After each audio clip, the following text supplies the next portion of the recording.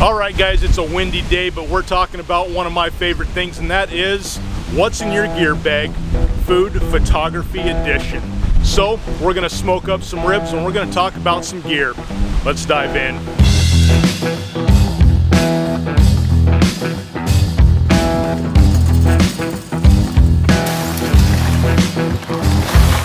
So as I've started this journey in the YouTube thing, I I started shooting with the Sony a7 II, and I kind of had some, a variety of lenses, we'll just say that. I tried little bits here and there, tried a couple different ones, but I knew that I wanted to upgrade to better glass, and at some point in time I was going to need to upgrade to a better body, just a little bit newer. There's some B-roll stuff that I'd like to be able to do, and having a camera that can shoot a higher frames per second and just a little bit better on some of the focus points and that kind of stuff. I ended up going with the Canon R8.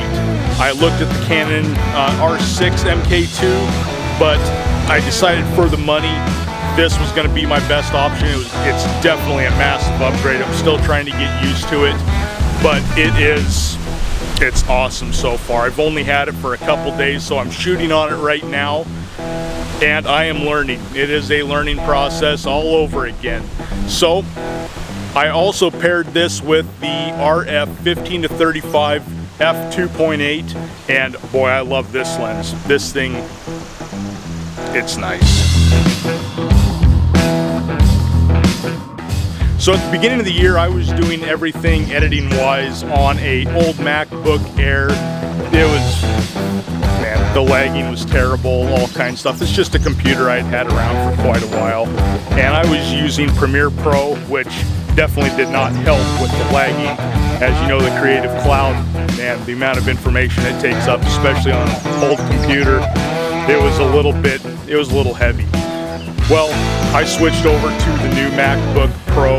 I don't know if it's a 14 or whatever it is. I don't know. M1, M2, I don't know all these details, but it's been awesome.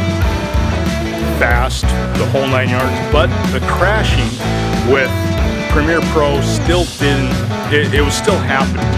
And that was getting pretty frustrating. I'm not even running big files. It's not, you can tell there's not a ton of information or brains that goes into this operation I've got going on here.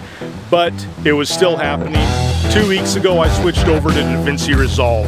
And it was quite a bit of a learning curve, but man, do I like it a lot. Now that I've started learning some of the process and some of the little quirky things of how to do things faster, man, I sure do like that. I'm still using Lightroom for my photos. Uh, I just love it. I use it on the phone, I use it on the, the MacBook. Pretty soon I'll have a tablet to go along with it, but just awesome stuff. But we're gonna jump in, we gotta pull some ribs off.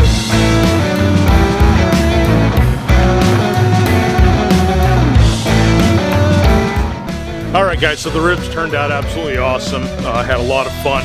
Big shout out to Whiskey Bent Barbecue and Big Unks.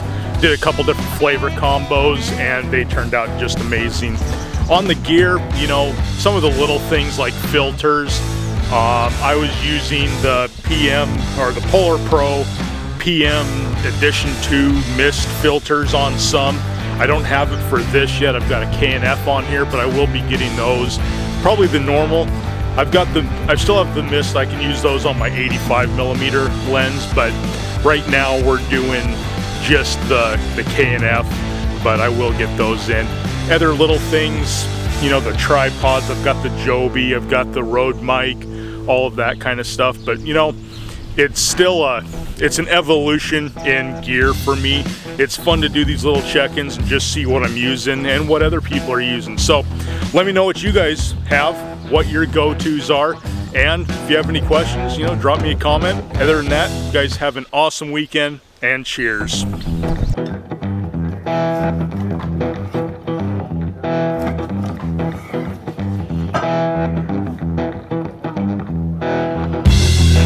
Thought I had it there. I did. I didn't have it at all. It escaped me. It's windy as a mother.